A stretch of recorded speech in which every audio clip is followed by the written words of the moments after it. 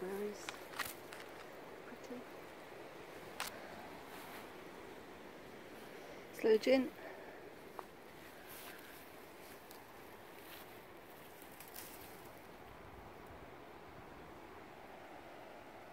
Look at those there. Amazing. Well, just what you can reach. Well, and me.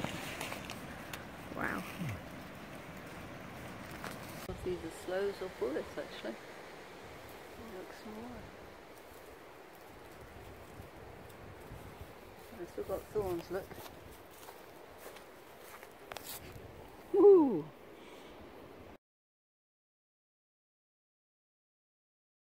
Right, here's what to forage today.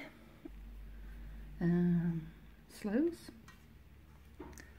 um, blackberries, rose hips. Bought a few of those to scatter around the wood and some elderberries. So we'll just do the elderberries now. With a fork. Oh, I forgot. I've got some of these amongst the mints as well, which are hawthorn. Apparently you can make hawthorn ketchup. So I'm going to see what I can do with these. Sorting these out. Quite a few rose hips. Right, there's a bit more to do. I'll put them under the hedge.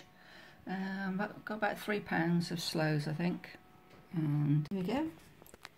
Here's the um, Bullace sloes we harvested yesterday and here's some damsons for comparison now frozen but you see the size of those compared to those okay right well I always thought that it was sloes didn't really know much about bullace I'd heard of them but I didn't know the difference but now I do they've both got thorns on the bushes and the leaves look the same and the same leaves damson a bit bigger but those sloes are never ever ripe. They always taste as if they're unripe and tart, even when the frost comes. Whereas bullace are just like little wild plums. They do taste quite nice at this time of year, which is the end of September. So, uh, what I'm going to do with them, I'm going to make some brandy with the bullace. I might even make a pie. You never know, because it is plum. Taste, taste the bullace.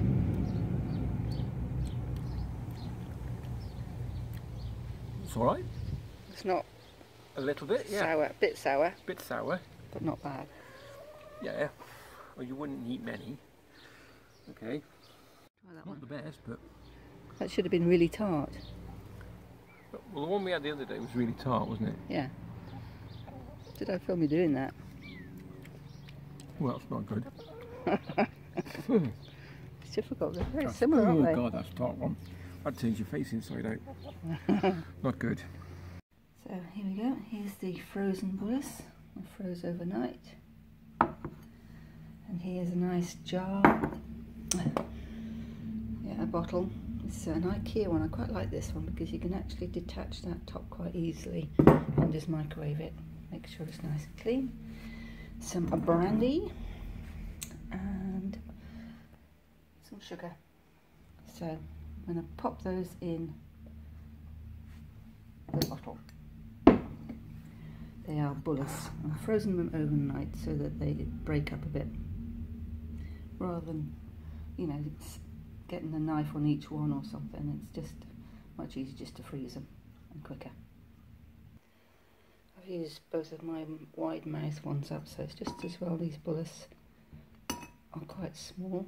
I thought there was, I've been thinking all along they're sloes, but if you bite into them, they're not as tart as sloes. It's just a wild plum, so it's much sweeter. Is there ever a small child about when you want to do these sort of jobs, is there? I'm sure they'd like to do it.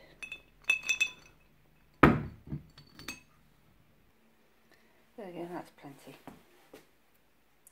So now the sugar.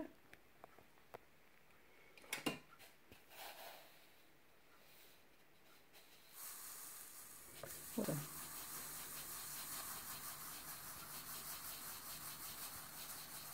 I'll just shake it. What do you think, cat? Yeah, interesting, isn't it?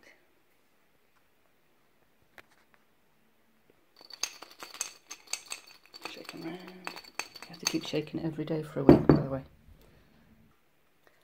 Now the brandy, I hope I've got enough room in that bottle. I'm wondering if it's big enough now.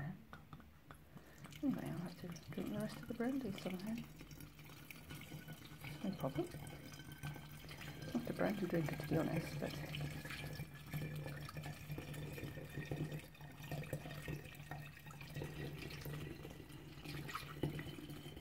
Oh.